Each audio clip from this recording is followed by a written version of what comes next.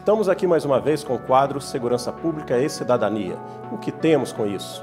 E diante de tantas notícias trágicas, estamos aqui para falar hoje sobre o Chame a Frida, iniciativa da escrivã de polícia mineira Ana Rosa Campos, premiado agora internacionalmente em Berlim, na Alemanha.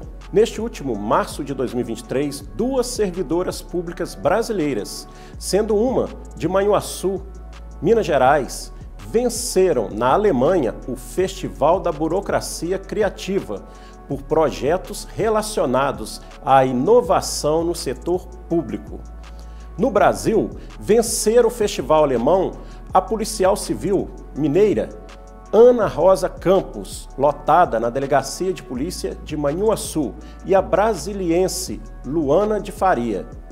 A policial civil de Manhuaçu, Minas Gerais, foi premiada por inovar no combate à violência doméstica. Já a servidora brasiliense, por participar na criação de um programa para dinamizar a gestão de pessoas dentro do governo federal. O Festival Alemão é um evento internacional de inovação no setor público que reúne participantes do governo, da política e da sociedade civil, na qual todos os premiados são escolhidos por voto popular. Entre os mais de 200 inscritos em todo o mundo, as duas premiadas foram vencedoras da sexta edição do Festival Alemão. Em 15 de junho, Ana Rosa e Luana devem estar em Berlim para apresentar seus projetos vencedores. Além da premiação internacional, ambas já tinham sido premiadas em vários outros prêmios no Brasil.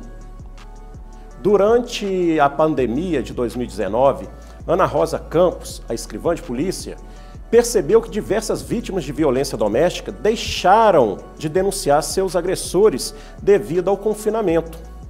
Após isso, a policial decidiu criar e implementar o projeto Chame a Frida, uma atendente virtual que funciona 24 horas por dia via o aplicativo WhatsApp.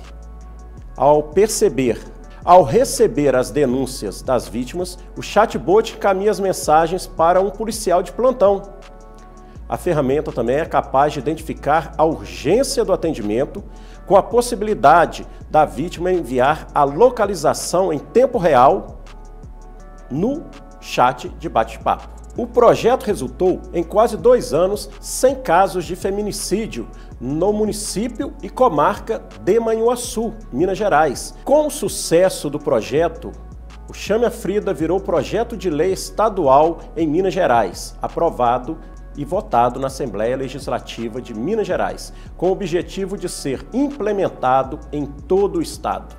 O prêmio coroa uma experiência exitosa, de sucesso, com resultados práticos e efetivos, e que venham outros projetos como esses para melhorar a vida e a segurança da população. Na próxima semana, mais um quadro Segurança Pública e Cidadania. O que temos com isso?